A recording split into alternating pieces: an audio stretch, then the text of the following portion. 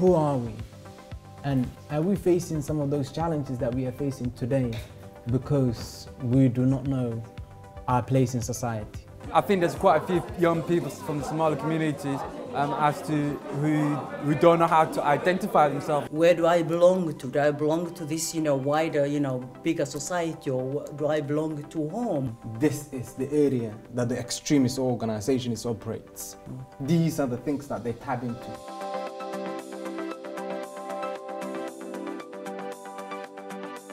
I see myself Somali, Muslim, black, woman, African, um, European, um, and so, and I see in a positive way. I don't see any disadvantage of all these, you know, uh, multi, multiple identities that I have. We've moved from a place to place. We've lived in different places.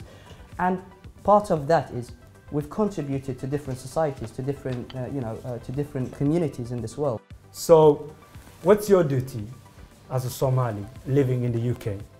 Is to contribute society the best of your ability.